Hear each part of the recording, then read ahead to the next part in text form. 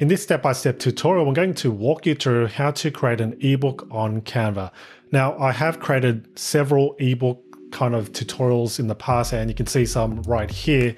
But what I want to do differently in this step-by-step -step tutorial is give you more of a quick start kind of approach to creating an ebook and some of the things that many of you have asked me and some of the I guess frequently asked questions based on the previous videos that I posted in the past. So I want to go ahead and kind of answer some of those and hopefully uh, you'll know exactly how to create an ebook a lot faster and better in the future. So if you want to learn more, keep on watching. Hi, my name is Aurelius and on this channel I share my tips, tool reviews and tutorials to help you scale your business with online tech. So if that interests you, be sure to subscribe below and turn on notifications too so you don't miss a thing. All right, so let's get started. Here I am on the Canva dashboard of my account. So the first thing you want to do when you are going to create an ebook is to choose the right size. There's actually no right size. It really depends how you want your ebook to look. If it is for a Kindle, then you'll need to find out what the guide uh, guidelines are, the formatting and the dimensions for that. But for this specific tutorial, I'm just going to show you how to basically create an ebook that someone can read, uh, you know, on their computer or on their phone. And the most kind of universal size is an A4 or letter size kind of uh, document. So what I would go and suggest you do is to look for A4 document or letter document. All right, so in this case, I've got my A4 document right here. However, you can alternatively search right here for A4 document and that'll appear right there, or you can select uh, letter and that'll give you that uh, size, so US letter document. So I'll choose A4 document in this case, so I'll click that. Now, once you do open it, you will see a blank canvas, and that's okay because this is where we can now create our template or more so select a template based on the templates right here. So looking here, look for a template that you may like and want to base your ebook around. All right, so this gives you a foundation rather than starting from scratch. To hone in more in terms of finding the right templates, what you want to do is to search the templates here, search for ebook, because if you just use one of the default ones, if we go back, these are just ones based on A4 uh, size. So that's why I recommend searching for ebook specifically. That'll give you better results. And as you can see, like these ones here, we've got Blogging 101 free online course. This is a pro uh, template. So if you do have a pro account, that's great. But otherwise, uh, look for the free ones, which uh, usually are freely available. You can see this one's got eight pages. If we just hover over that, you can see a preview as to what other pages they have and the formatting and the layouts of those. So keep looking, keep browsing to find the right one that may be suitable for your future or current ebook. This one here, we've got a content, we've got a chapter title, we've got the actual content, you know, so there's four pages here.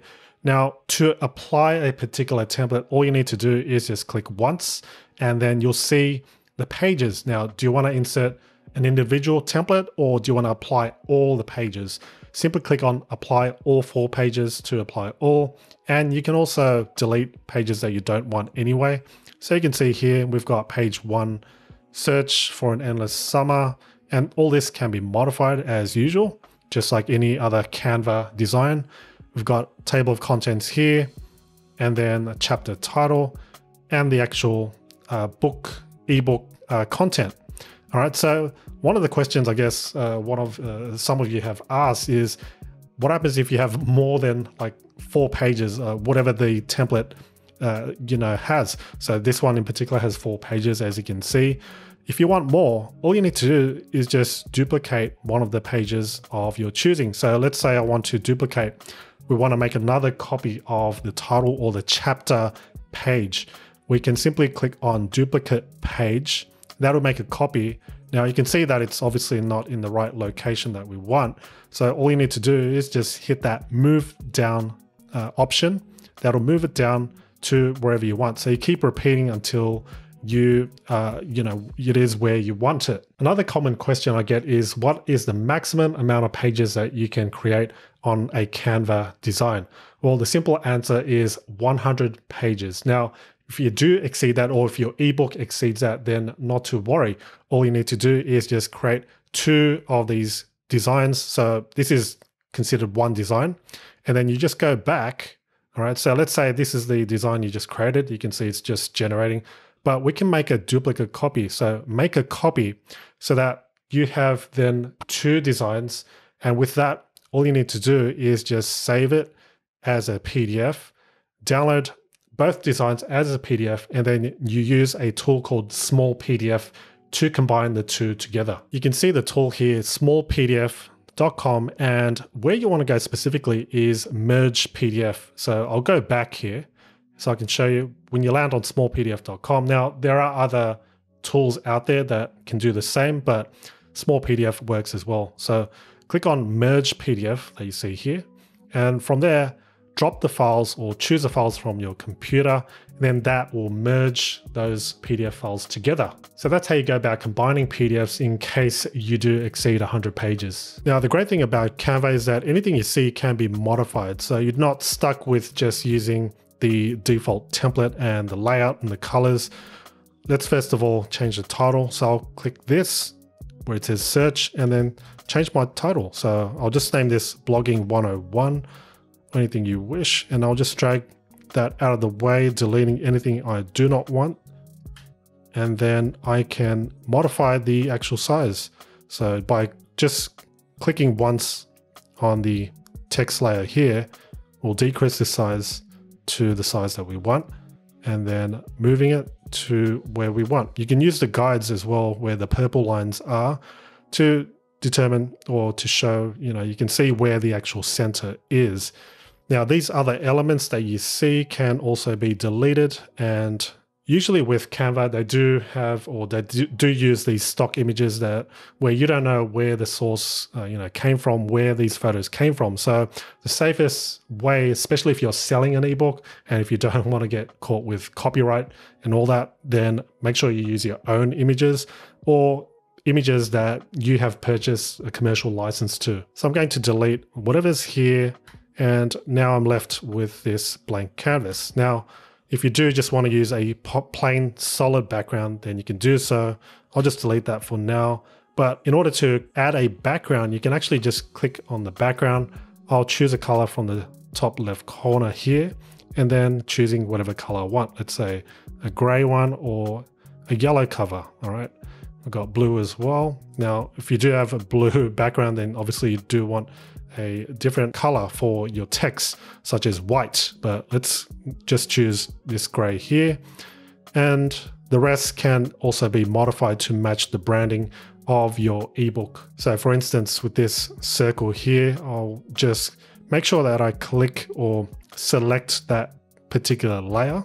And then from the top, I then select that same gray color I chose before, like that. Now this table of contents is simply a placeholder. So what I would suggest you do is to actually do the table of contents last since many of the pages will be modified. You'll be adding pages, maybe deleting some, editing, and so on and so forth. Looking down, of course, we've got the chapter cover or the image. We can modify the background once again to the color that we want. So this one here, not sure if these are actually the same. It is the same. So we'll use that. And we can rename this to, let's say, chapter one, chapter one, and deleting anything we want or adding things that we do want. So let's say we want to add a particular element. Uh, let's say this, uh, let's keep scrolling down to something that we do want to add, something that makes sense. We can actually search for blogging or blog or website. And let's say we want to add this one here. Now this is a Pro element. You can tell by hovering over it says Pro, but that's what we can do. And I'll just select that layer now, move it to where we want like that, and then resizing it down like so. Looking down further, this template also provides the actual content of the ebook. I can change the font style if I want to by clicking here and then choosing the font style that I want. So let's say I want this one here, Arimo. I'm not sure how that will look like. So quite plain. Looks similar to the Arial font. So let's say I'm happy with that. I can just use that for now. and then add the content uh, that I want. Now, unfortunately, Canva isn't actually made to create ebooks, right? So you're going to have to do things uh, more manually in, in a way where, yeah, you do need to add page numbers yourself. At the time of this recording, I'm not uh, aware of any upcoming updates, you know, where uh, you're able to automatically insert page numbers. Hopefully it'll come, but I will put it out there since I'm a Canva certified creative and I get kind of insights and uh, early access to some of the new features. But as you can see, if, if I look down, if, or if you look down on your template, you'll see at the bottom, it may be the case where you see the numbers. If not, you can add your own numbers. But this one shows, you know, page 32. Let's say this is page four. You can modify it. Now, if you do have an extra page, let's say you want to add an extra page for your ebook, I'll just duplicate this specific page so that I'm keeping the consistency, right? I want to keep the pages consistent with the rest, add or write the ebook as I would normally write it. And then I would then change the page numbering to five, so on and so forth as I progress and keep writing my ebook. Now, another thing I want to show you is what happens if you want to wrap some text around a particular image or element. So I'm going to give you this example where I'm just going to add this image, let's say this PDF here, or let's use my image right here. I'll just add that by clicking. So I've uploaded these into my uploads, so it's right there. And what I'm going to do is just add it here and crop it so that only I am showing. So this could be useful for, let's say, an about the author page. I'll add it right here. And then as you can see, obviously the text or this the writing isn't actually being wrapped around that image. So in order to kind of uh, do that, what we're going to do is create another layer. So this is one layer of text. What we can do is uh, we can size it in a way so that it, it starts from this point here. So I'm just going to, for now, duplicate this layer. So by clicking this layer at the top, you can see duplicate. So I'll do that.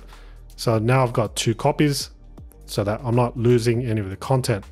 Now with this first layer, what I'm going to do is just use the text at the top. So first of all, let's resize it down to something like 18, something a bit smaller. So then I can show you as a demo this image is still rather big, so let's resize this down too. Now I know it looks a little messy, but just bear with me for now and I'll, I'll show you what to do next.